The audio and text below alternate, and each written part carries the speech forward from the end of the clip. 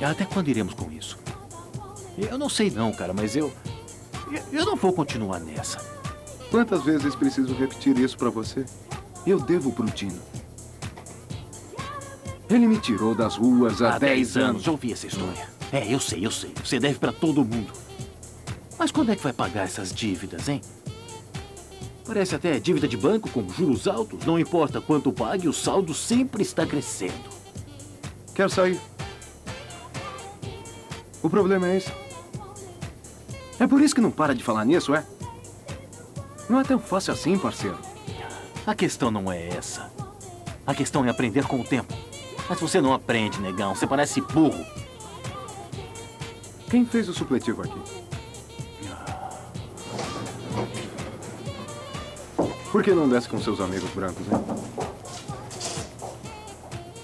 Nós vamos sair dessa juntos. Isso mesmo. E é assim que vai ser. A menos que tenha um plano melhor. Branquelo. Você quem faz os planos. É isso aí. É isso aí, meu irmão.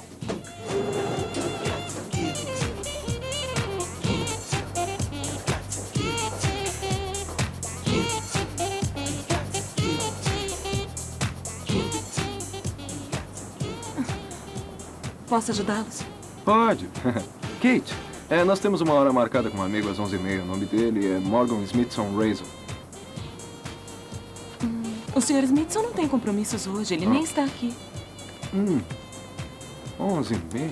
Veja. Não é hoje? Qual o nome de vocês? Não, não é preciso, Kate. Vamos atrás dele. É que ele é um é... velho amigo da faculdade. Vamos até a casa dele. Como quiserem, senhores. Ah, por favor. Senhores, tudo bem? Eu não pude evitar de ouvir a conversa de vocês. Estão procurando Morgan Razor? É? Conhece ele? Ah, eu conheço, sim. Ele é muito amigo meu. Talvez eu possa ajudar. Querem que eu mande algum recado para ele?